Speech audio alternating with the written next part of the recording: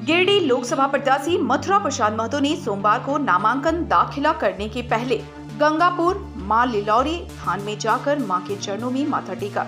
माँ का आशीर्वाद लेकर नामांकन के लिए किया प्रस्थान। गंगापुर से राजगंज, कांको मोड़, तिलका मांझी चौक में माल्यार्पण, नवागढ़, महोदा मोड़ स्थित विनोद बाबू की प्रतिमा पर माल्यार्पण, तेज मच्चो ब्रिज में अल्प ठहराव बथुआ होती हुई बोकारो समाहरणालय में नामांकन पुस्तकालय मैदान सेक्टर पाँच में जनसभा।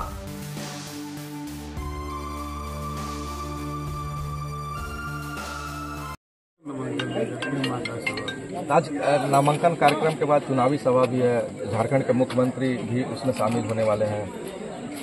और भी गठबंधन के बहुत सारे नेता आएँगे सभा जल्द ही समाप्त होगा। ही तो किस तरह का दिख रहा है कार्यकर्ताओं में समर्थकों में?